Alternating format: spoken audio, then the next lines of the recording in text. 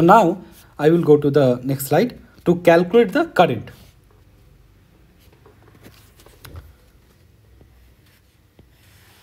So for the sake of simplicity, this is the actual diagram of the, sorry, this is the actual diagram. This is the actual diagram of the MESFET, right? So you just think like this. Here in this, this layer, don't have any any other thing to do. That means no effect on the current. So you just think this area. This area. And for the current calculation what i will do i just rotate this area. That means i will draw like this. This will be this is the i will draw this is drain this is source just reverse and this will be gate. Okay? Now you think you understand why the MESFET diagram in many books looks like this. It is just a simplified diagram to calculate the current and this is the depletion region. Okay. So for the calculation of current, I will use this diagram instead of this one. Okay.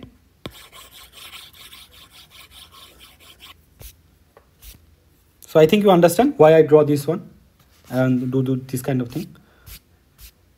So I let's draw again.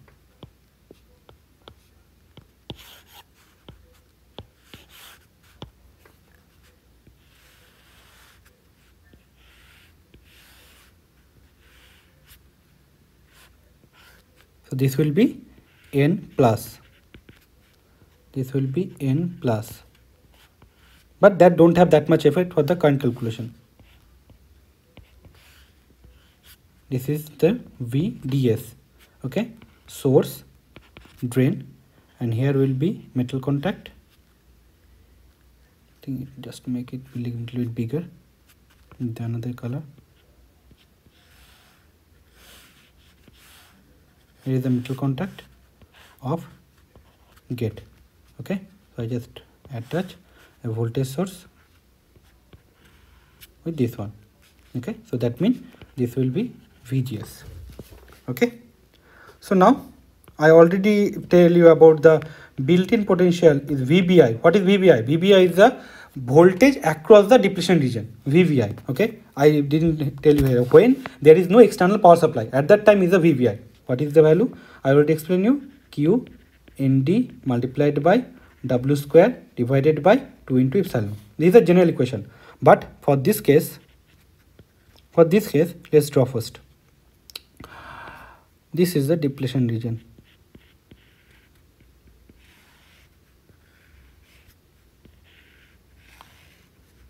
Here, the, here I consider the linear region. That means VDS is small. So there is no effect of the uh, depletion region with change the tap that the tapering right? That it, you saw that one in the MOSFET.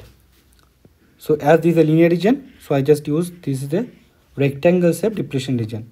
So this is the depletion region created. Okay? Now the length the height of the depletion region is h. Is h okay and length is L. Okay? And for this one I you already the width is equal to W. Okay? These are two D diagram as I should tell you last time. Okay? So just let's calculate. Here now here when there is no VGS at that time the potential across this depletion region is VBI okay? Then when we add a voltage source VGS. So total effective voltage is how much? VBI minus VGS.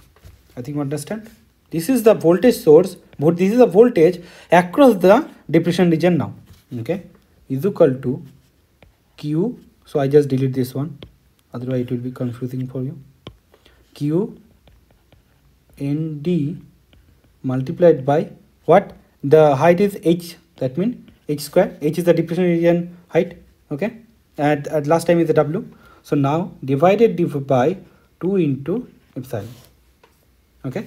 So from here what is the value of h? h is equal to 2 into epsilon divided by 2 if sorry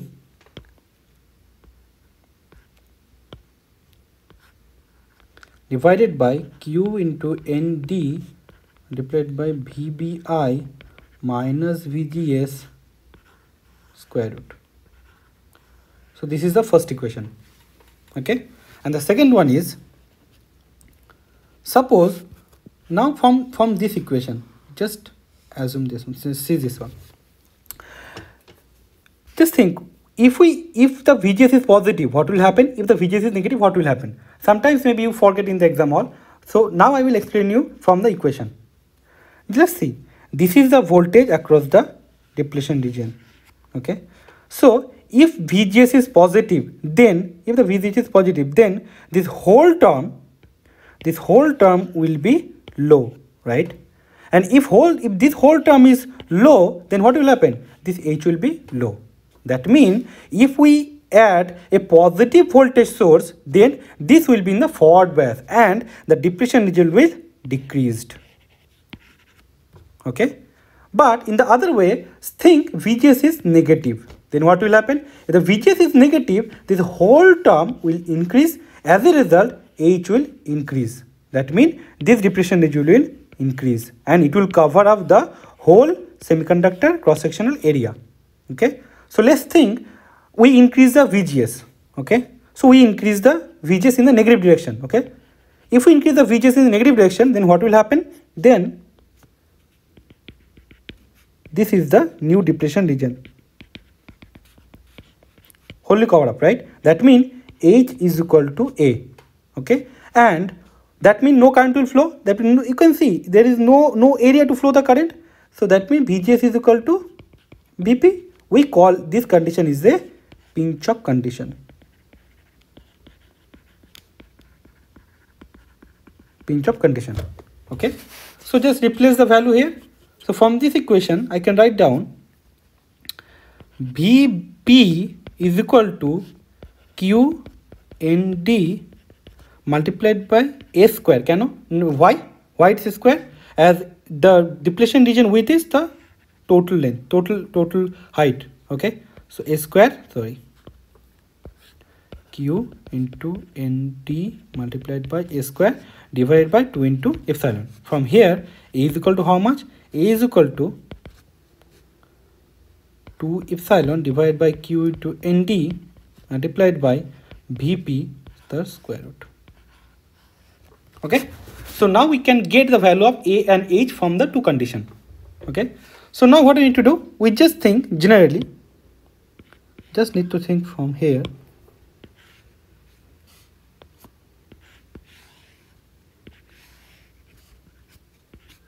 This is just, just think VGS is positive. Okay. If the VGS is positive, the channel width is this one and the depletion width is this one. Okay. So at that time, if we apply voltage VDS, then what will happen? A current will flow that is called ID. From where current will flow? The current will flow in this direction. Okay, so that means the effective area to flow the current is this one. Okay, so what is the uh, height of this one?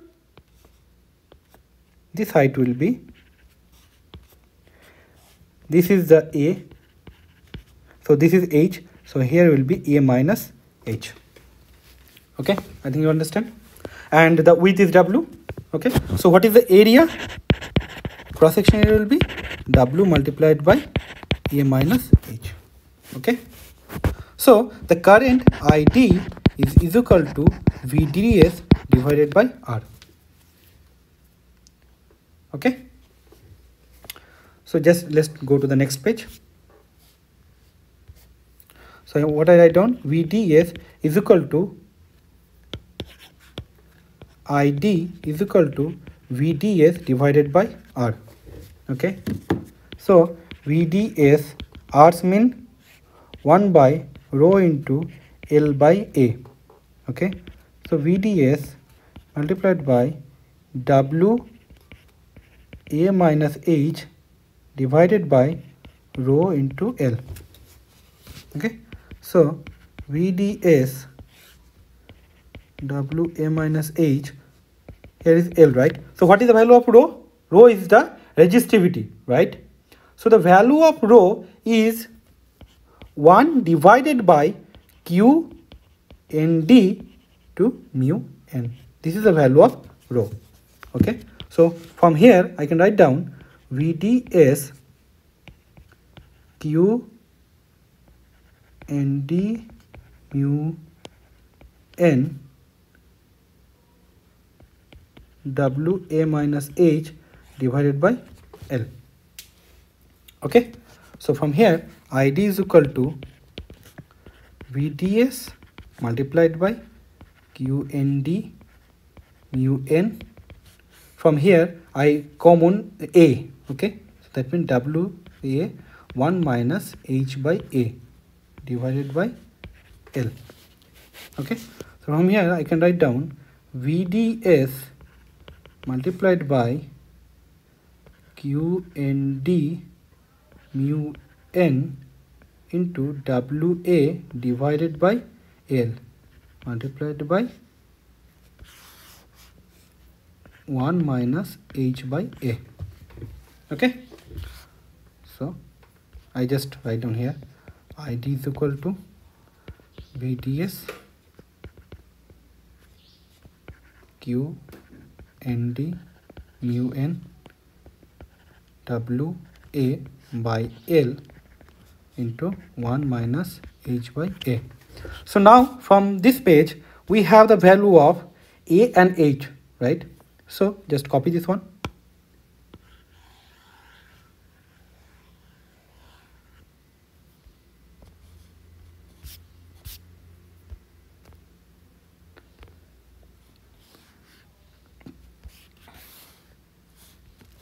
Just paste it here. Okay. So now we can put the value VD uh, value of H, H and A. So VDS, I just write down this one as G0. I will explain you what is G0 into 1 minus H by A. So it will be 1 minus the value of H. You can see this, this all is the same, right? This all is the same. So H by A, it will be the cancel out. So it will be what? It will be V B I minus VGS divided by VP. Okay. And now I will explain you why I write down is G0. G0 is the conductance. And what is the value I write down? G0 is equal to QND multiplied with the mu N WA by L. Okay. So here I write down W into A. That means I consider the whole area whole area as a channel. So that means this is the resistivity right? This is the 1 by rho conductance 1 by rho right? So here i write down the rho with the value of w into a. So that means if there is no VGS, if there is some positive VGS and there is no depletion region, then at that time the conductance is called rho 0 and is equal to QND mu n w into a. And that one I write down is a g0 okay? So the ultimately current equation id is equal to this one.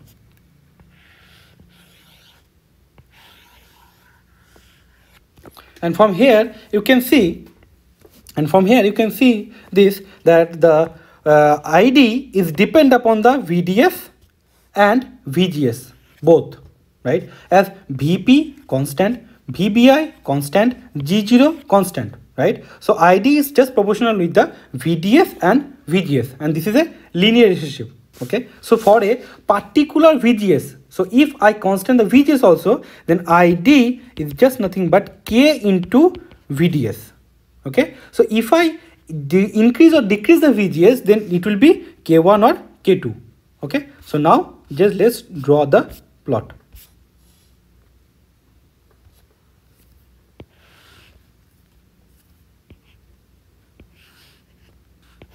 this is the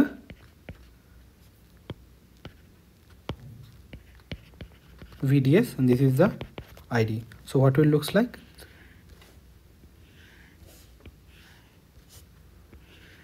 Okay. So this will be VGS is equal to 0. So what will be there? The positive or negative?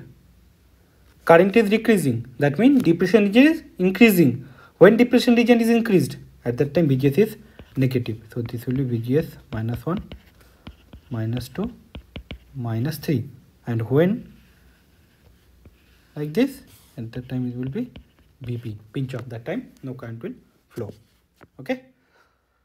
So that's all. So I already covered the Schottky and ohmic contact concept. And with that one we understand the MESFET working principle and calculate the current equation of MESFET at linear region. I will derive the saturation region current equation in my next video. Thanks for your time. Please do share this concept with your friends. And if you like this video, please press the like button. It really means a lot for me. Bye bye.